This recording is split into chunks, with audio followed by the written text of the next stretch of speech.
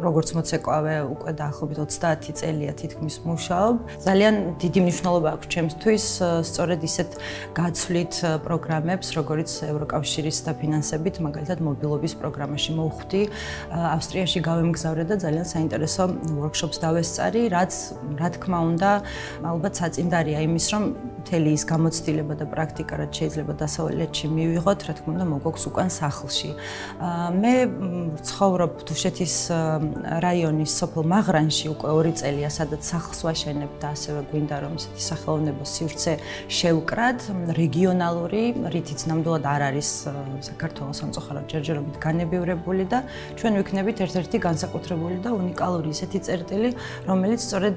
იმ ბუნებაში, იმ წიაღში მოიწოს ახალგაზრდა მოცეკვავებს თუ სხვადასხვა დისციპლინის ხელოვანებს, რომ უფრო მეტად მეტად დაუახლოვდნენ ბუნებას, მოშორდნენ ქაოტურ ქალაქებს და უფრო მეტი თავისუფლებით ეცადონ თავიანთი ინდივიდუალური ხელობის განვითარებას. და სწორედ ასეთი გარემო გვინდა შევქმნათ და კვლავ განმეორდები თუ რამდენად მნიშვნელოვანია ნებისმიერი ასეთი ევროკავშირის პროექტი, ნებისმიერი ასეთი გასვლა, გაცვლითი საქმიანობა კულტურაში, რადგანაც ნამდვილად საციცოცხლოდ მნიშვნელოვანია ის, რომ